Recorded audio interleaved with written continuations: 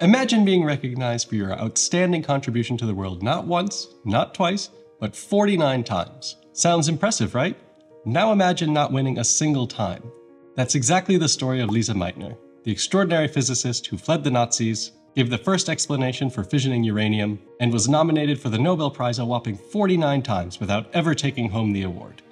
Lise Meitner was born in Austria in 1878 into a family that valued education and intellectual pursuits. She excelled in school and eventually went on to study physics at the University of Vienna. After completing her PhD in physics in 1905, only the second woman ever to do so, Meitner began working as a research assistant at the University of Berlin, where she would meet one of the pioneers of nuclear energy, Otto Hahn. And after working as a research assistant for several years, she became the first woman to become a full professor of physics in Germany in 1926. Meitner's most significant accomplishment came in the late 1930s, when she and Otto Hahn discovered nuclear fission. Meitner had been focusing on different types of nuclear interactions and radiation, and realized the process they had observed was a new type of nuclear reaction, in which a heavy uranium atom would split into two smaller atoms and some free neutrons. She also correctly calculated the amount of energy released by the reaction, in part by using Einstein's famous equation E equals mc squared. The discovery had enormous implications for nuclear physics and opened up new possibilities of energy production. Despite her key role in the discovery of nuclear fission, Meitner was not awarded the Nobel Prize in Chemistry in 1944, which went solely to her colleague Otto Hahn. Many scientists at the time believed Meitner's gender and religion contributed to her lack of recognition for her part in the discovery of nuclear fission.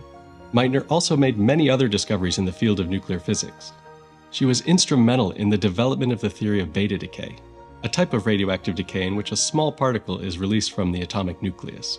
Meitner and her colleague, the chemist Otto Frisch, also made important contributions to the understanding of the physical properties of atomic nuclei.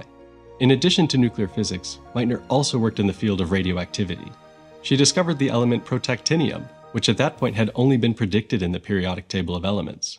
Meitner also conducted extensive research on the radioactive properties of radium and thorium. However, Meitner faced numerous challenges throughout her career due to her gender and nationality. As a Jewish woman in Nazi Germany, she was subject to discrimination and persecution.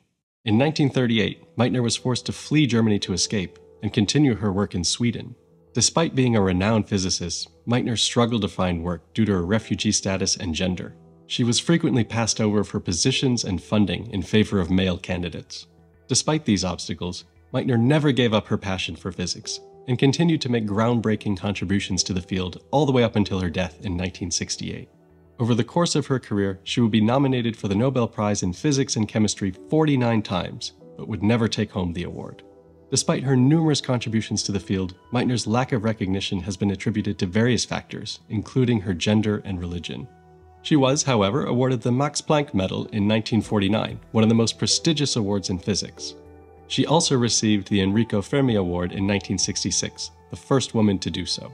Despite facing countless challenges throughout her career, Lise Meitner's contributions to science have had a lasting impact. Her work on nuclear fission in particular revolutionized nuclear physics and laid the foundation for the development of nuclear energy and nuclear weapons. Her legacy continues to inform the work of physicists today and inspired countless women to pursue careers in science, technology, engineering, and mathematics. So, what can we do to support women in science and engineering? One simple action is to support organizations that promote gender equality in science, technology, engineering, and math, or STEM fields. There are many organizations that work to support women in STEM, such as Women in Nuclear, Girls Who Code, and the Society of Women Engineers. You can also mentor and support young women who are interested in pursuing careers in STEM and advocate policies that promote gender equality in the workplace. And who knows, because of that support, we might just find the next Lise Meitner. Thanks for watching.